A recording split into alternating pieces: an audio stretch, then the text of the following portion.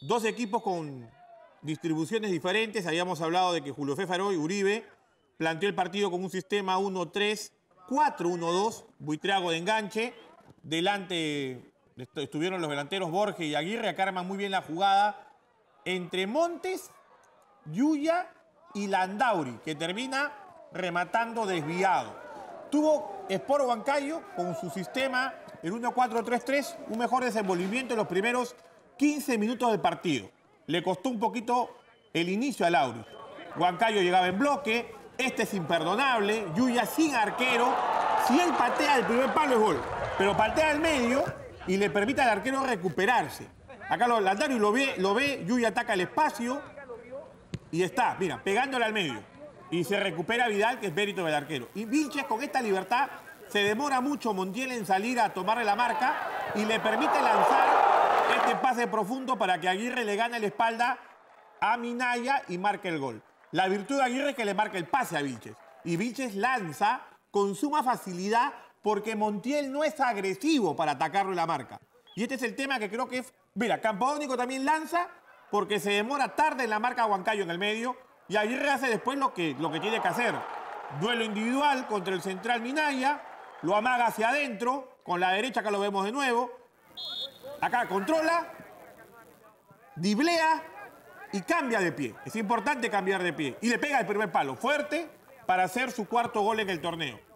Y este es Borges intentando con su movilidad complicar un Sport Huancayo que ya tenía problemas y debilidades defensivas. Para mí Wilmer hace bien. Cabecea contra el piso, cruza el remate de cabeza, muy buen centro de Campodónico, pero Solís estuvo notable. Para mí esta es la desviada del partido. Qué buena sacada del portero de Sport Huancayo. Era superior en la última media hora del primer tiempo. El pase de Nostroza es muy bueno. Y acá nuevamente Folif ante el remate de Borges con qué facilidad Nostroza lanza en profundidad. Jugador con gran visión de juego. Y acá Sandía entrando en diagonal, pegándole de afuera Yuya, pero un equipo de Laurich que supo ser vertical en ataque. Como este pase de Nostroza, y Aguirre solidario, combina con Borges y pone una goleada de 3 a 0 en un segundo tiempo que con los cambios Auris rearma el sistema táctico, arma dos líneas de cuatro, dos delanteros, igual que Huancayo, que pone apreciado como un hombre más de punta que acompañe a Montes. Acá el arquero da rebote, mal Vidal, a pesar que el balón se desvía la barrera, Reyes comete penal, a Montes, es claro el penal, Montes va a amortiguar el tema, 3 a 1, y termina Montiel pegándole también otro tiro libre que le permite terminar el partido 3 a 2. Un encuentro con goles, Quizás bajó un poquito las revoluciones Aurich, a pesar que tiene opciones de gol. Mira acá Juárez, recibe libre, en zona de rebote, le pega muy bien, pudo ser el 4 a 1 y el partido termina 3 a 2.